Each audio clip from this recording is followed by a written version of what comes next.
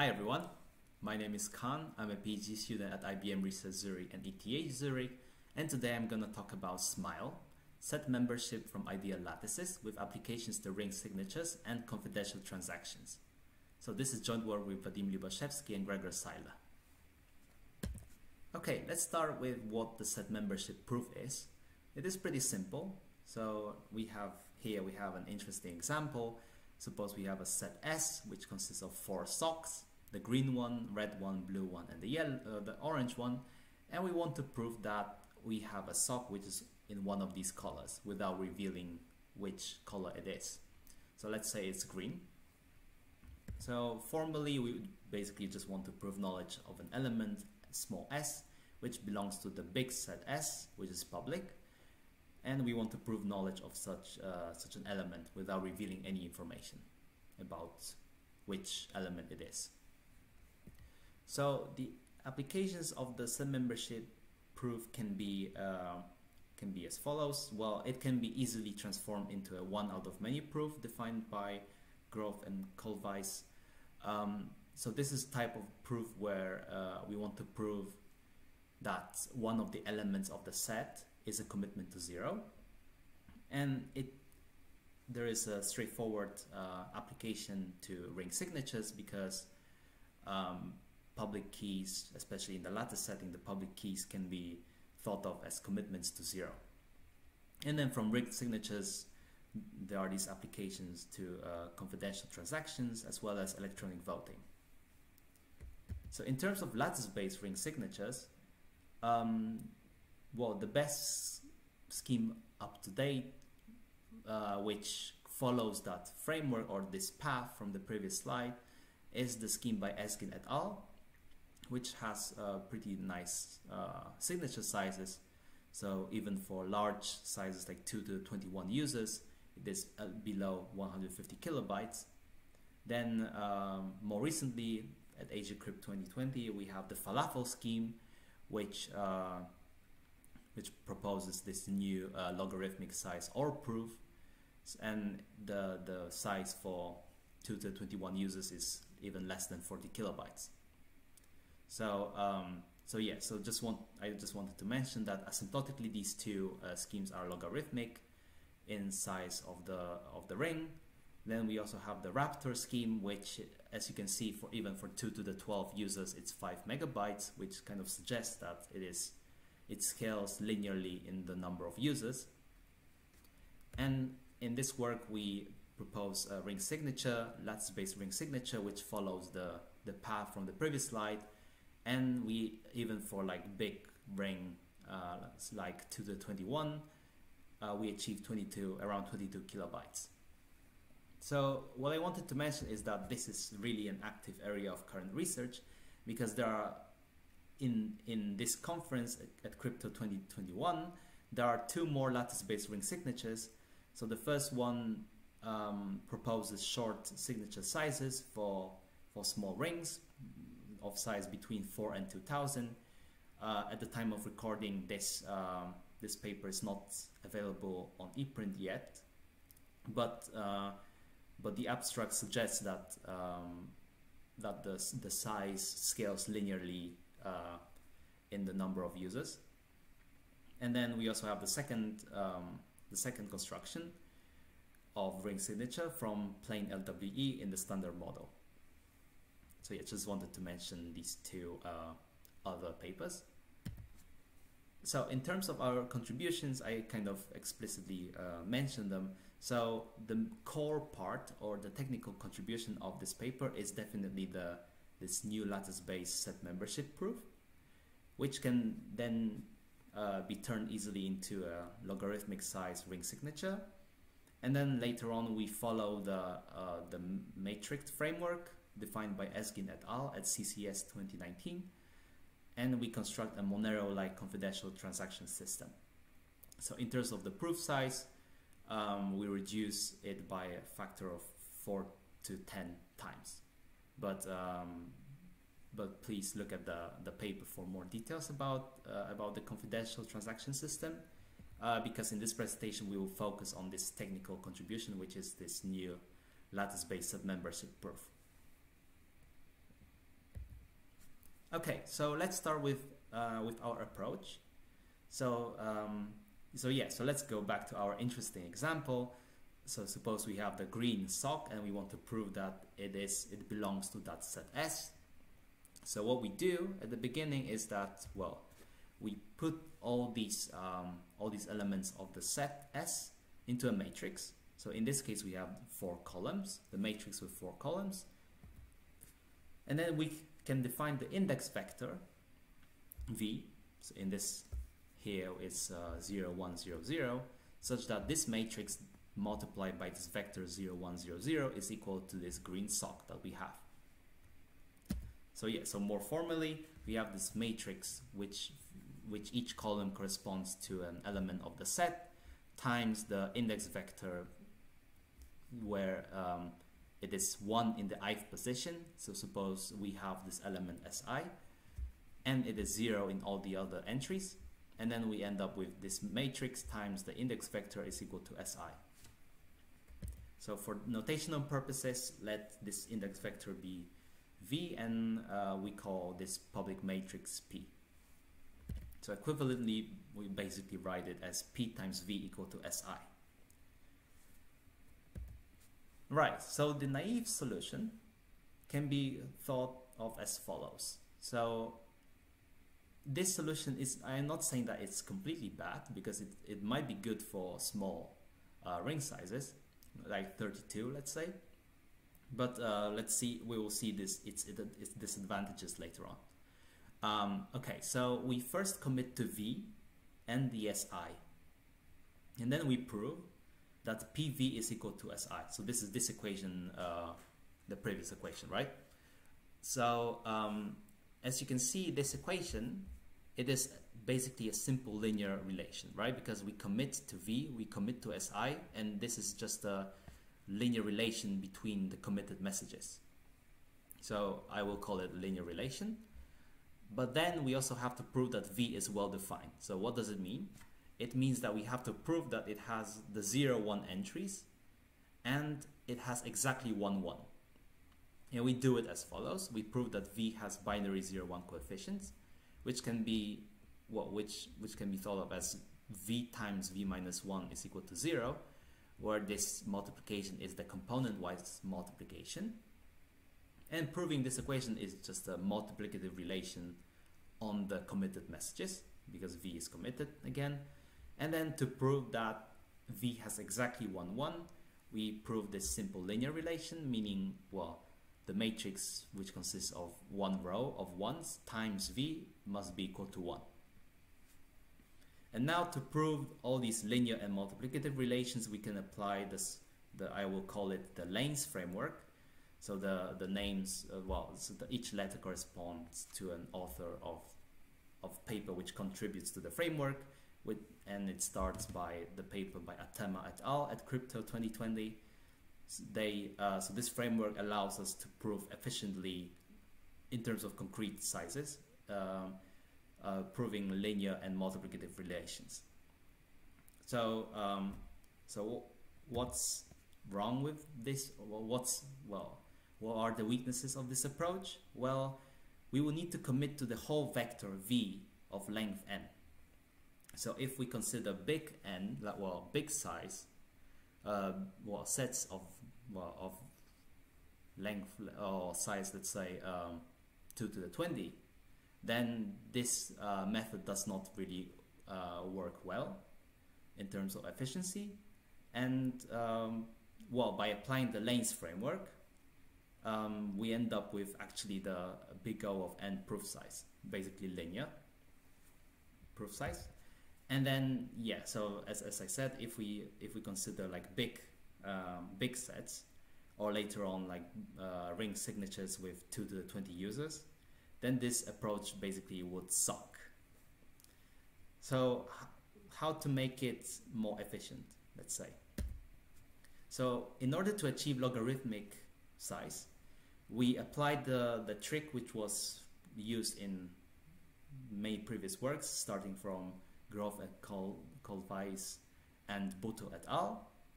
So suppose that n, which is the size of the set, is equal to L to the m. And then there is this observation that the vector v, this index vector v, which has exactly one 1 and the rest are zeros, can be uniquely tensor decomposed into smaller vectors, v1, v2 up to vm, where each vj is binary and has exactly one 1. So each vj is of length l and there are m of them. So, um, so, so, first of all, uh, this operation is not very well defined. So what we mean is that this is v1 tensor and then the, the, the bracket and then v2 tensor and then the bracket v3 tensor and the bracket and so on up to well at the end it's going to be vm minus 1 tensor vm so let's just have quick examples. So if we have 0 0 1 0 then we can write it as 0 1 tensor 1 0 and a little bit more complicated example. If we have the vector 0 0 1 and then all zeros, basically 1 is in the third position, then we can decompose it as 1, 0, tensor, and then the brackets 0, 1, tensor, 1, 0. So um, basically the observation is that ev every vector, every such vector v, every index vector which satisfies these conditions can be decomposed in this way. Okay, so the solution, the logarithmic size solution can be can be described as follows. So we commit to V1 up to Vm. So we commit to these smaller decompositions. There are m of them. And then well, as well as Si. And then instead of proving PV is equal to Si, we have to prove that P of this tensor product of V1, V2 up to Vm is equal to Si. And this is definitely not a linear relation. Uh, next, we have to prove that each Vj is well defined.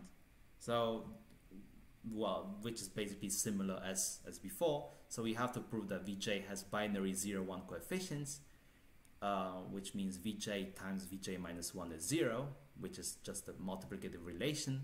And then we want to prove that Vj has exactly 1, 1. And we do that by proving that, um, uh, what, well, that the matrix which consists of one row of ones times Vj is equal to 1. So as you can see, this, um, this solution is much better than the previous one because um, we only, well, we commit to the smaller vectors Vj's and not to the whole V. And uh, well, hopefully I can convince you that it's more successful solution. But the last thing, but the one thing to describe is well how to actually prove this type of equation because it is not a linear equation. So okay, so let's let's have a look at the intuition. So in order to prove that type of equation, so P times, so the matrix times the tensor product equal to something, we will use the following two facts. So first of all, we need to prove that the inner product of PV well, I mean, there's nothing to prove, but I mean, this is a simple observation.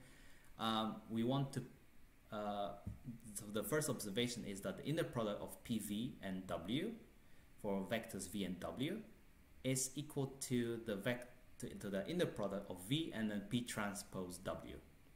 So this is a very simple observation, but this is a key component of uh, of proving linear relations in the in the framework, in the LANES framework, and um, yeah, especially in this, this paper by Esgin et al. at Euro at AsiaCrypt 2020.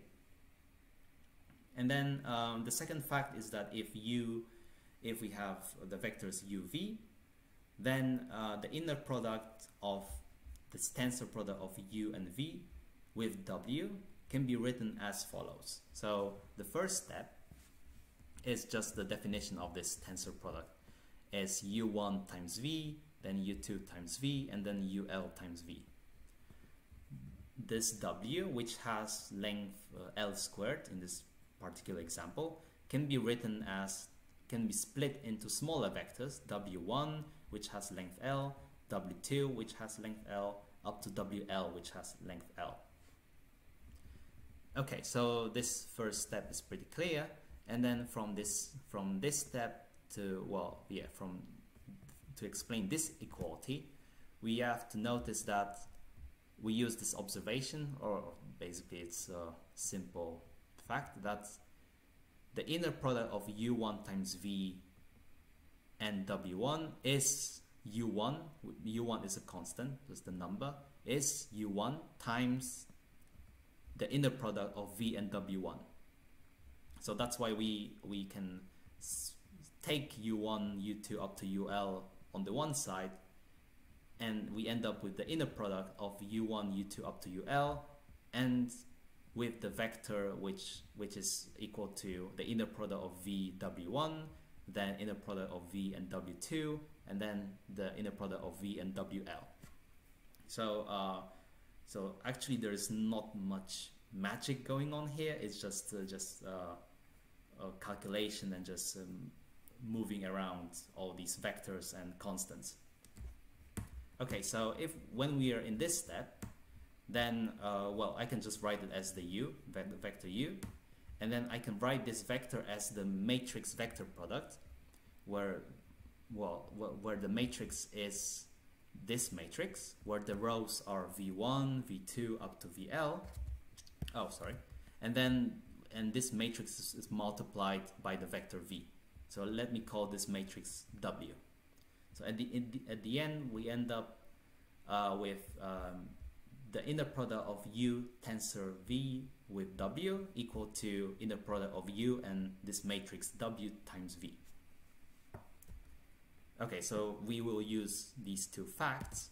So, um, so the intuition is as follows. For simplicity, suppose that this um, that the set S consists of vectors over ZQ. So let's say these vectors have length k.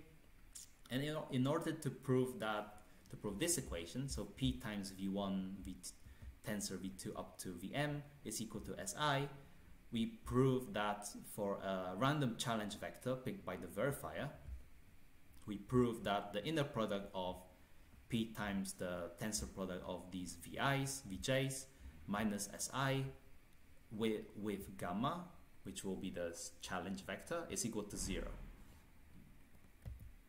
Okay, so so how to prove that? How to prove that this inner product is zero? So first of all, we, well, I don't know, the first thing is to split this inner product.